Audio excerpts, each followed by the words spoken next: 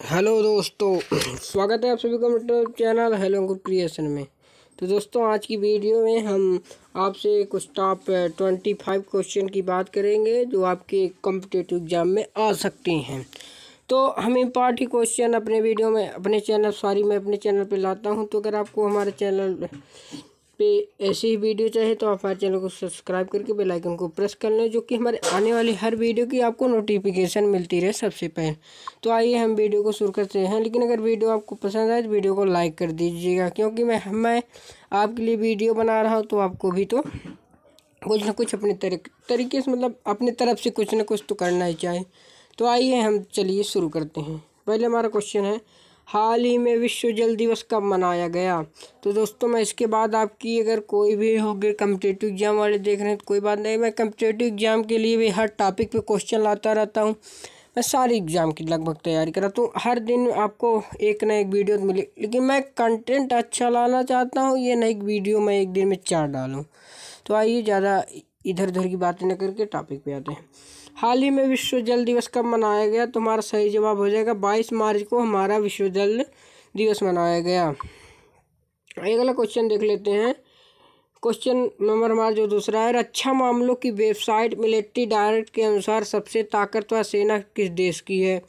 तो चीन की सबसे ताकतवर सेना है किसके मुताबिक? जो हमारे मिलिट्री डायरेक्टर हैं, उनके हिसाब तो आइए अगला क्वेश्चन देखते हैं। दस मिनट में मैं आपको सारे क्वेश्चन को कवर कर दूँ। जारी ग्लोबल होम प्राइस इंडेक्स में भारत कौन से स्थान पर रहा है? तो हमारा आंसर हो जाएगा छप्पनवें स्थान पे हमारा भारत है। किसमें? ग्लोबल होम प्राइस इंडेक्स में। तो आइए अगला देखते हैं क्वेश्चन हमारा जो है।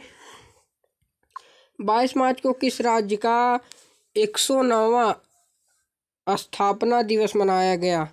किस राज्य को बाईस मार्च, एक चीज़ मैं आपको बता देना चाहता तो बाईस मार्च दो हज़ार उन्नीस में मोदी जी ने लॉकडाउन भी लगाया था तो इसी दिन की बात है, पूछा जा रहा है बाईस मार्च को, बाईस मार्च को किस दिन राज्य का एक सौ सॉरी एक सौ नौवा स्थापना दिवस मनाया गया, तुम्हारा हो जाएगा बिहार में, बाईस मार्च को कहाँ मनाया गया? बिहार में। तो अगला क्वेश्चन देखते हैं।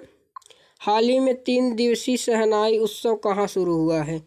तो वाराणसी में हमारा तीन दिवसीय शहनाई शुरू हुआ है। अगला क्वेश्चन देखते हैं। किस देश ने मिजोरम की सीमा के साथ और अधिक सीमा हाट खोलने की पहल की है? तो हमारा बांग्लादेश सही जवाब हो जाएगा बांग्लादेश जो है सात और अधिक सीमा खोलने की पहल की है। तो अगला क्वेश्चन देखते हैं। भारतीय तो छोड़िए। भारतीय रेलवे की किस कोच फैक्ट्री ने पहले एसी भी AC three tier economy class coach की शुरुआत की है? तुम्हारा जो कपूर थला ने क्या पूछा क्वेश्चन अब एक बार फिर से पढ़ लीजिए। भारतीय रेलवे की किस कोच फैक्ट्री ने पहले एसी सी टीयर इकोनॉमिक क्लास कोच की शुरुआत की थी? हमारा जो कपूर थाला, थला है। उसने एसी टीयर इकोनॉमी की सबसे पहले शुरुआत की। तो अगर आपको इसका पी पीडीएफ चाहिए तो मैं आपको टेलीग्राम लिंक सॉरी, अगर आपको इसका पी पीडीएफ चाहिए तो आप मुझे कमेंट करेंगे, मैं आपके पास सेंड कर दूँगा। नहीं तो मैं आपको इसकी, आपको टेलीग्राम पे तब मैं आपको वहाँ लिंक दे दूँगा।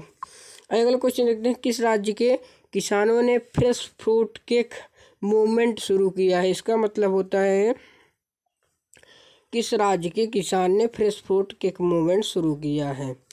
तो महाराष्ट्र ने फ्रेश फ्रूट केक मूवमेंट शुरू किया है।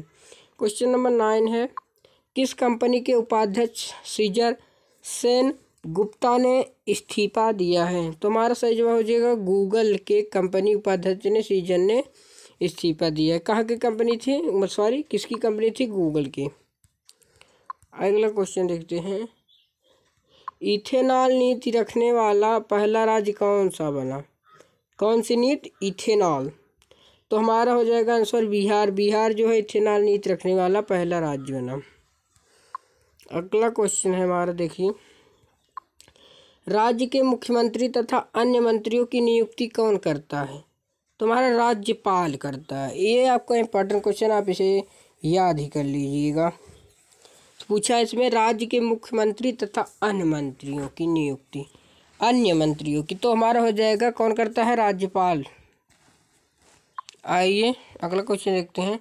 दयानंद सरस्वती का मूल नाम क्या था? तो हमारा हो जाएगा मूल शंकर। मूल शंकर दयानंद सरस्वती का नाम था। तो अगला क्वेश्चन देखते हैं। पीत आतंक से किस संबोधित किया जाता था? पूछा जा रहा है, इसमें पीत आंग, आतंक से किसे संबोधित किया जाता था? तो जापान को पीत आतंक से संबोधित किए आपको इतना नहीं याद करने बस आप याद करें जापान पीत आकंठित आतंक ना? अगला क्वेश्चन देखते हैं। नगर निर्माण कराने वाला दिल्ली का प्रथम सुल्तान कौन था? तो आप क्या यह कहिए नगर निर्माण कराने वाला कौन था? दिल्ली का कहाँ का प्रथम सुल्तान? तो हमारा गयासुद्दीन तुगलक था। बहुत इंपॉर्टेंट क्वेश्चन है। अगला क्वेश्चन देखते हैं। भारत के प्रथम कार्यवाहक प्रधानमंत्री कौन हैं? थे। भारत के प्रथम कार्यवाहक प्रधानमंत्री कौन थे? तो हमारा जाएगा उत्तर गुलजारी लाल नंदा। अगला क्वेश्चन देखते हैं। महाराष्ट्र के किस समाज सुधारक को लोक हितवादी कहा जाता है? तुम्हारा सही जवाब हो जाएगा, देख जानिए क्या हो जाएगा, बताइए। गोपाल हरि देशमुख को क्या कहा जाता है, बताइए? लोकहितवादी। अगला क्वेश्चन हमारा है, पृथ्वी की आकाश गंगा को क्या कहा जाता है? तो उसे मंदाकिनी कहा जाता है। ये तुम लगता है मुझे लगभग पता होगा, अगर सभी लोगों आप अगर एग्ज़ाम की तैयारी कर रहे होंगे तो आपको पता नहीं बताया तो मैंने आपके लिए एक क्वेश्चन डाल दिया था। भटनागर पुरस्कार किस वर्ष प्रारंभ किया गया? तुम्हारा सही जवाब हो जाएगा, भटनागर पुरस्कार उन्नीस सौ सत्तावन ईस्वी में प्रारंभ किया गया। कब प्रारंभ किया गया? उन्नीस सौ इकतीस ईस्वी में प्रारंभ किया। उन्नीस सौ सत्तावन ईस्वी आइए देखते हैं कौन से प्राणी के दिल का वज़न छः सौ किलो तक होता हो। ये भी आपका सही होगा, ब्लू वेल एक ऐसा प्राणी है जिसका छः सौ किलो का दिल होता है। आप यहाँ पर सारे क्वेश्चन हैं। किसने सत्यार्थ प्रकाश की रचना की? तो स्वामी दयानंद सरस्वती जी ने सत्यार्थ प्रकाश की रचना की थी।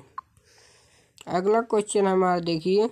दालचीनी पौधे के किस भाग से प्राप्त होता है? दालचीनी पूछा जा रहा है किस ये तो हमारे छाल से प्राप्त होता है, लगभग आप लोगों को पता ही था।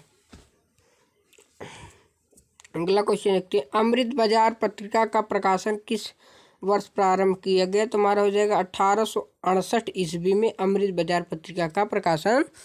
क्या हुआ? प्रारंभ हुआ। तो दोस्तों, आज के लिए इतना ही। अब मिलेंगे हम अपने वीडियो, अगले वीडियो में। अगर वीडियो पसंद आए तो वीडियो को लाइक कर दें, चैनल पर चैनल को सब्सक्राइब करके बेल आइकन को प्रेस कर लें, क्योंकि मैं ऐसी वीडियो लाता रहता हूँ।